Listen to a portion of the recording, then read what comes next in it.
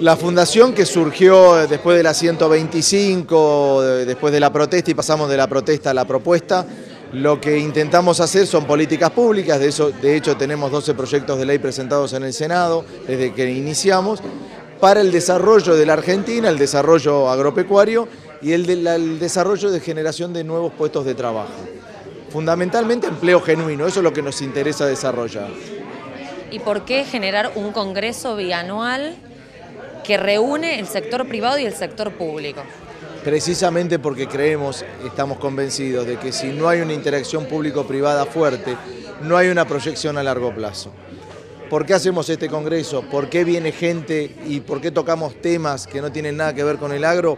Porque en realidad nosotros además somos ciudadanos y no podemos pensar en el desarrollo agropecuario si no está integrado al educacional, al político, al social, al económico. O sea, no podemos pretender que un sector solo se desarrolle si no está incluido en lo otro. Y nosotros no dejamos de estar incluidos en eso. Nuestros hijos van a los colegios de acá, nosotros vivimos acá, entonces sí o sí tiene que ir todo de la mano.